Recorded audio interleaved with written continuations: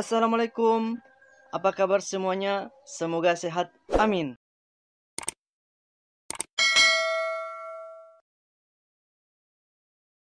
Assalamualaikum ya Habib Allah.